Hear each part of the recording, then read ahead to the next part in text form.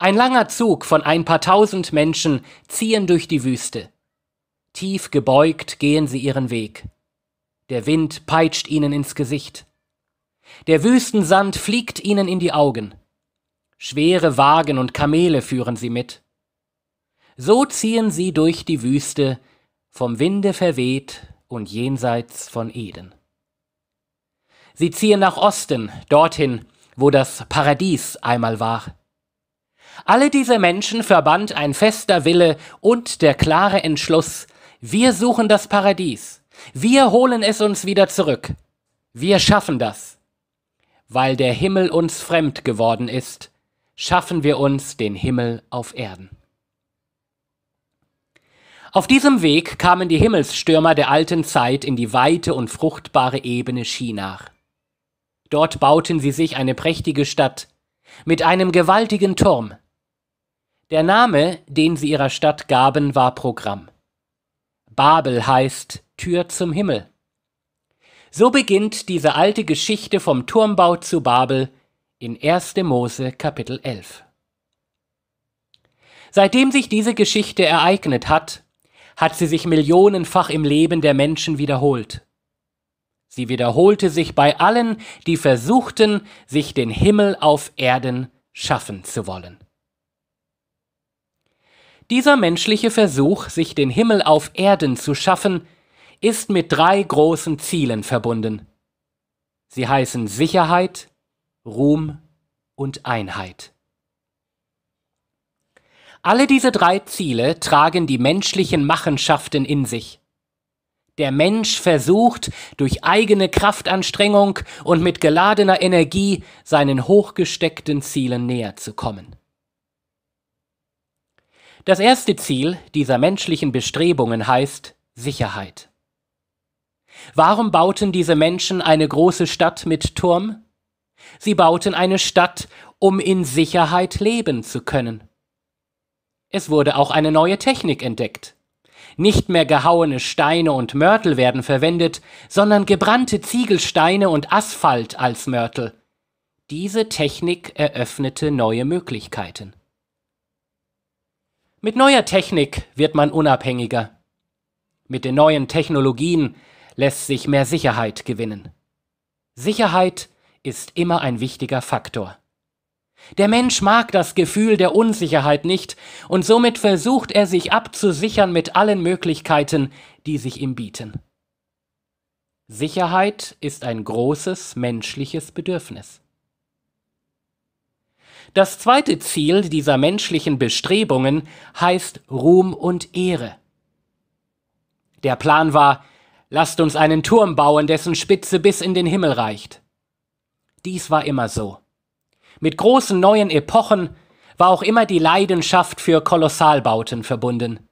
Die Pyramiden in Ägypten, die Akropolis von Athen, das Kolosseum in Rom und so weiter. Hier in Babylon bauten sie einen Götterturm. Seine Fundamente wurden ausgegraben. 91 Meter hoch war er, aus 85 Millionen Ziegelsteinen erbaut. Dieser Turm sollte demonstrieren, was der Mensch alles kann, was für ihn alles machbar war. Wenn ich heute durch die Megacities Asiens reise, bekomme ich immer noch den gleichen Eindruck. Hongkong, Singapur, Bangkok, Cities mit gewaltigen Wolkenkratzern, und es wird weiter gebaut und gebaut. Der Mensch zeigt seine Schaffenskraft. Dieser Turm war auch ein Symbol für die feierliche Absetzung Gottes. Wir wollen uns einen Namen machen, sagen die Menschen und demonstrieren, der Mittelpunkt ist jetzt nicht mehr die Macht Gottes, sondern das menschlich Machbare. Der Turm von Babel war ein Stufenturm. Man konnte an den Außenseiten langsam von Stufe zu Stufe immer höher steigen. Oben befand sich ein Altar, auf dem den Göttern geopfert wurde. Dieses Stufensystem haben alle Religionen verinnerlicht. Der Mensch selbst versucht, Stufe für Stufe sich selbst zu erlösen. Er schafft sich seine Religion. Jede Religion in dieser Welt hat das sich selbst erlösen wollen in ihrem Kern. Wer immer strebend sich bemüht, den können wir erlösen. Langsam steige ich Stufe für Stufe hinauf. Somit werde ich immer besser und vollkommener. Am Ende kann der religiöse Mensch sich selbst rühmen. Der Turmbau von Babel steht für alle menschlichen Bemühungen, sich einen Namen zu machen und sich ein Denkmal zu setzen. Er steht für das Karrierestreben, für das Streben nach Anerkennung, Ruhm und Ehre, dieser Turm steht für die Absetzung Gottes. Das dritte Ziel aller menschlichen Bestrebungen heißt Einheit. Wohlauf, lasst uns bauen. Wir werden sonst zerstreut über die ganze Erde, sagten die Leute von Babylon. Ihr Motto hieß Gemeinsam sind wir stark. Nur gemeinsam können wir die Probleme der Zukunft in den Griff bekommen. Alle müssen das einsehen. Die Spannungen zwischen den Kulturen und Religionen müssen abgebaut werden. Wir brauchen Einheit, Verbindendes, gemeinsame Ziele und ein gemeinsames Handeln. Kommt uns dies alles nicht sehr bekannt vor?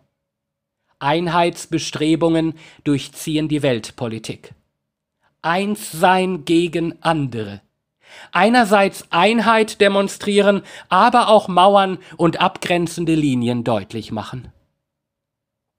Sicherheit, Ruhm und Einheit heißen die großen menschlichen Ziele. Es sind drei Versuche des Menschen, den Himmel auf Erden zu schaffen. Alle Versuche des Menschen, den Himmel auf Erden zu schaffen, tragen die gleiche Bewegung in sich. Es ist immer die Bewegung von unten nach oben. Aber dann wird Gott aktiv. Auf einmal hören wir ein schallendes Lachen. Es ist das Lachen Gottes. Gott fängt an zu lachen und zu spotten. Der im Himmel wohnt, lacht ihrer und der Herr spottet ihrer. Psalm 2, Vers 4. Tausende von Menschen schreien ihre Parolen, Wohlauf, wohlauf. Und dann hören wir Gott, der sie nachahmt, Wohlauf, wohlauf, lasst uns herniederfahren. Da fuhr der Herr hienieder, dass er sehe die Stadt und den Turm, die die Menschenkinder bauten. Welch ein Spott! Die Menschen wollen den Himmel stürmen, sie wollen den Himmel auf die Erde herunterholen mit ihren eigenen Anstrengungen und Bemühungen. Aber der Herr sieht ihre Bemühungen da unten nicht einmal. So klein ist das Türmchen, das sie gebaut haben. Er muss heruntersteigen, sich herunterbeugen und genau hingucken, um überhaupt zu sehen, was die Menschen da gebaut haben. So groß und allmächtig ist der souveräne Gott. Was sind wir Menschen schon? Ja, wir sind seine Geschöpfe, aber wir rebellieren gegen ihn obwohl wir unser Leben Tag für Tag seiner gnädigen Erhaltung verdanken. Wir nehmen so viele Segnungen aus seiner Hand, aber rebellieren gegen ihn, wollen ihn nicht. Das ist der gottlose Schrei in jedem Herzen von uns. Wir sind von Gott abgefallen, wir wollen von Gott unabhängig sein. Vergessen wir nicht, diese Geschichte vom Turmbau zu Babel geschah jenseits von Eden. Der Mensch wurde aus dem Garten Eden hinausgestellt, denn er hatte die Gebote Gottes übertreten.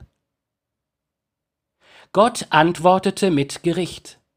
Er kommt und verwirrt die Sprache der Menschen. Was für eine Verwirrung muss das auf der Baustelle von Babylon gegeben haben. Keiner verstand mehr den anderen. Sie zerstreuten sich in alle Welt. Babylon ist aber auch Wendepunkt. Gott kommt nicht nur mit Gericht, sondern auch mit Heil und Rettung. Ab nun an sehen wir, wie Gott den Weg für seinen Sohn Jesus Christus vorbereitet, der der Retter für alle werden wird, die ihn annehmen und ihm folgen. Zuerst wird Abraham erwählt, aus Abraham entsteht das Volk Israel. Gott ließ immer wieder Propheten aufstehen, die das Heil dem Volk Gottes verheißen haben. Und dann kam der große Tag, an dem Gott selbst Mensch wurde in seinem Sohn Jesus Christus. Das Kreuz auf Golgatha, an dem Christus für unsere Sünde und Rebellion starb, wird zum Tor des Himmels. Durch das, was am Kreuz geschah, macht Gott den Weg frei. Durch Jesus wird es wieder möglich, in enger Gemeinschaft mit Gott zu leben. Jeder ist dazu eingeladen. Dann wird es Pfingsten in Jerusalem. Gott benutzt den neuen Weg der Versöhnung und kommt durch den Heiligen Geist zu uns Menschen. An Pfingsten in Apostelgeschichte Kapitel 2 sehen wir noch einmal eine Schar von Menschen, die gemeinsam unterwegs sind. Aber sie sind nicht unterwegs, um eine große Weltstadt zu bauen wie in 1. Mose Kapitel 11.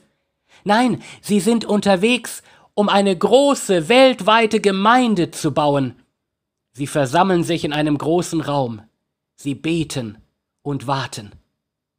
Auf einmal werden sie ergriffen von dieser Bewegung von oben nach unten. Gott kommt zu den Menschen. Er gibt ihnen seinen Heiligen Geist.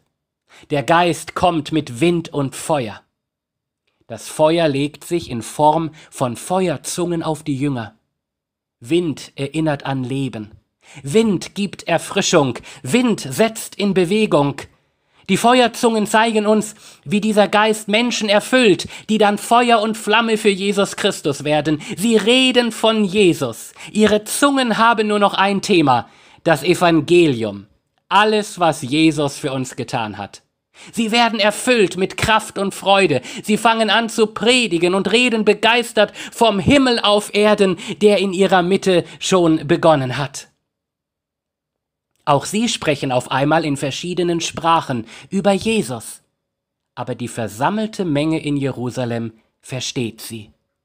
Jeder hört jetzt das Evangelium in seiner Muttersprache, in seinem Dialekt, in seiner Stammessprache. Keine Verwirrung mehr wie einst in Babylon, sondern ein einheitliches Verständnis der Evangeliumsbotschaft. Menschen werden erweckt, erkennen ihren Unglauben und ihre Rebellion gegenüber Christus und werden durch den Heiligen Geist zur Buße und Bekehrung geführt. Sie werden neue Menschen. Sie erleben, wie ihre Sünden vergeben werden, wie Jesus sie neu macht. Auch sie werden erfüllt mit dem Heiligen Geist. Diese Bewegung aus dem Himmel ist unaufhaltsam. Diese Christen kann man nicht mehr stoppen. Wir können es ja nicht lassen, von Jesus zu erzählen, so bezeugen sie es. Es ist die Bewegung des Geistes. Brauchen wir nicht wieder neu diese Bewegung des Geistes unter uns? Vielleicht bewegt dich der Geist Gottes gerade, dein Herz für Jesus Christus zu öffnen, ihm dein Leben zu schenken, denn er liebt dich und will auch dich haben. Die Pfingstgeschichte ist eine Antigeschichte, ja eine Gegengeschichte zu der Geschichte vom Turmbau zu Babel. Was passiert jetzt? Wir gehen noch einmal im Eilverfahren die drei großen Ziele durch. Sicherheit, Ehre und Einheit sind die ursprünglichen Ziele. Aber der Mensch versagte immer wieder. Jetzt aber baut Jesus seine Gemeinde. Jetzt sehen wir diese göttliche Bewegung von oben nach unten. Das erste Ziel auf der Baustelle Gemeinde Jesu heißt Sicherheit. Wir sind jetzt in Jesus sicher.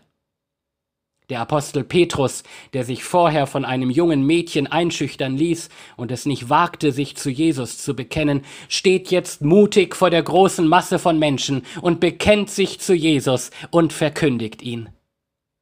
Durch den Geist Gottes erlebt er die Nähe Gottes wie einen Raum der Geborgenheit.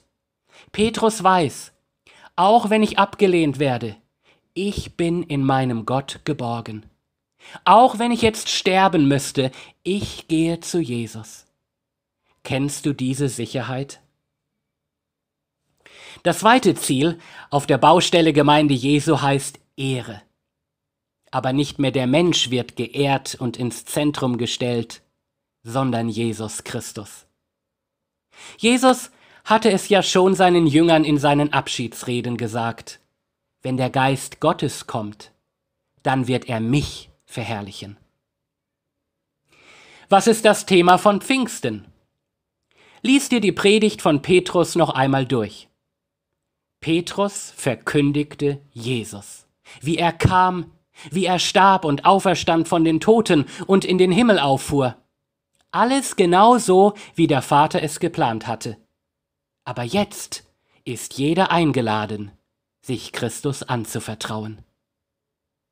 Die Apostel heben einander nicht selbst auf das Podest und versuchen auch nicht, sich irgendwelche Denkmäler zu erbauen. Sie machen nur noch Christus groß. Wo der Heilige Geist weht und wirkt, wird es um Jesus gehen. Seit Pfingsten gibt es keine Jesusfreie Gottesverehrung mehr im Volk Gottes. Keine wahre Predigt ohne diesen kostbaren Namen Jesus. Kein Gemeindewachstum ohne die Verkündigung von Jesus. Die Ehre Gottes in seinem Sohn Jesus Christus steht in der Gemeinde unseres Gottes immer im Zentrum. Es geht nicht um uns. Es geht um Jesus Christus der der Retter und Herr dieser Welt ist. Das dritte Ziel auf der Baustelle Gemeinde Jesu heißt Einheit. Auf dem Tempelplatz in Jerusalem waren Juden aus aller Herren Länder versammelt. Petrus predigt. Ein Wunder geschieht. Auf einmal hören die Versammelten die Predigt des Petrus in ihrer eigenen Sprache. Das Gericht der Sprachenverwirrung und der Völkerspaltung ist aufgehoben. Der Geist Gottes, der von oben kommt, macht wieder gut, was der Menschengeist zerstörte und nie erreichte.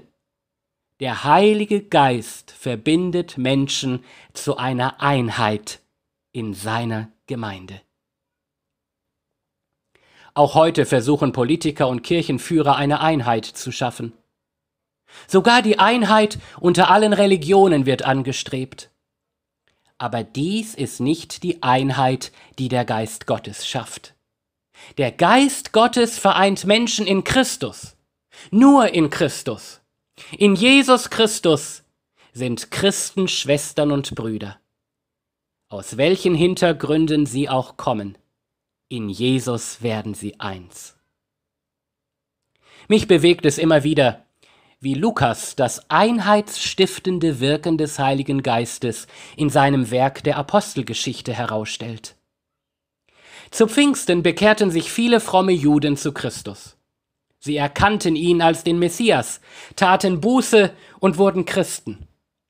Die erste Megagemeinde war nicht in Korea oder in Amerika, sondern in Jerusalem. Über 3000 Menschen bekehrten sich und sie lebten in Einheit zusammen aber es war nur eine Gemeinde aus den an Christus gläubigen Juden. Gottes Plan aber war, dass auch die Heiden, ja Menschen aus allen Völkern und Nationen zum Glauben an Christus kommen sollten. Der erste Schritt war die Evangelisation unter den Samaritern durch den Evangelisten Philippus. Die Samariter waren für die Juden Feinde. Aber als Samariter zum Glauben an Christus kamen, da mussten die Gemeindeleiter der jüdischen Gemeinde in Jerusalem, Petrus und Johannes, nach Samaria reisen, um Augenzeugen eines besonderen Ereignisses zu werden. Als sie für die jungen Samariter-Christen beteten, da kam der Geist Gottes auf sie. Gott hatte seinen Geist bewusst zurückgehalten, um Petrus und Johannes eindrücklich deutlich zu machen, dass auch die Samariter-Christen durch den Geist Gottes zu dem einen Leib Jesu der Gemeinde getauft werden. Es brauchte keine zwei Gemeinden, eine für Juden und eine andere Gemeinde für die Samariter. Nein, sie waren jetzt eins in Christus, durch den Geist Gottes verbunden, zusammengefügt zu einem Leib. Hier wird die einheitsstiftende Kraft des Heiligen Geistes herausgestellt. Ähnliches erfährt Petrus dann im Haus des Heiden Cornelius. Denn auch die Heiden sollten zu dieser neuen Gemeindebewegung hinzugefügt werden. Petrus als typischer Jude tat sich natürlich damit schwer, in das Haus des Cornelius zu gehen. Juden vermieden jeden Kontakt mit den Heiden. Aber Gott zeigte ihm durch eine Vision, dass auch die Heiden jetzt zum Heil in Christus Zugang haben. Und als Petrus dann im Haus des Cornelius das Evangelium von Christus verkündigt, da kommt der Geist Gottes auf alle von ihnen. Petrus wird Zeuge. Auch die Heiden empfangen den Geist Gottes, wenn sie an Christus glauben. Sie gehören auch dazu. Gerade diese wichtige Wahrheit und Erkenntnis verteidigte Petrus später auf dem Apostelkonzil. Der Geist Gottes schafft Einheit. Später dann traf Paulus sogar noch Jünger, die immer noch im Alten Testament lebten. Wir lesen davon in Apostelgeschichte Kapitel 19. Sie kannten nur die Taufe des Johannes. Heilsgeschichtlich waren sie zurückgeblieben. Sie kannten das Evangelium noch nicht. Sie wussten nichts von einem Heiligen Geist. Aber auch sie wurden dann durch den Glauben an Christus und durch den Empfang des Geistes zur Gemeinde Jesu hinzugefügt. So sieht die einheitsschaffende Wirkungskraft des Heiligen Geistes in der Apostelgeschichte aus. Juden kommen zum Glauben, Samariter kommen zum Glauben, die Heiden glauben an Christus und auch die, die heilsgeschichtlich noch zurücklagen. Bis heute wirkt der Heilige Geist die Einheit unter Gottes Volk. Er heilt Verletzungen, überwindet Mauern und Zäune, er führt zusammen. Lass dich mit hineinnehmen in die große Einheitsbewegung Gottes. Globalisierung war von Anfang an Gottes Ziel. Er baut seine Gemeinde global bis an das Ende der Zeit. Dann wird die Einheit der weltweiten Gemeinde Jesu für immer sichtbar werden. Was hat der Turmbau zu Babel mit Pfingsten zu tun? Damals versuchten es die Menschen aus eigener Kraft, Sicherheit, Ruhm und Einheit zu schaffen. Sie versagten und kamen somit unter das Gericht Gottes. Ja, die Bibel sagt uns, dass wir unter dem Gericht Gottes stehen. Aber in Jesus Christus hat uns Gott den Weg der Rettung eröffnet. Wer zu Jesus kommt, erlebt, wie er von Gott zu seiner Gemeinde hinzugefügt wird. Da erleben wir dann die Sicherheit in Gott. Da ehren wir Jesus Christus allein und da werden wir zusammengeschweißt mit allen, die Jesus als ihren Herrn und Retter kennen und lieben, ihm folgen und ihm dienen. Da sind wir in Christus eine weltweite Familie Gottes. Da erleben wir Einheit, heute schon und dann für immer. Das Schönste kommt noch in der Ewigkeit. Was wir jetzt erfahren, ist nur ein herrlicher Vorgeschmack. Gott segne uns alle mit seinem besonderen Pfingstsegen. Amen.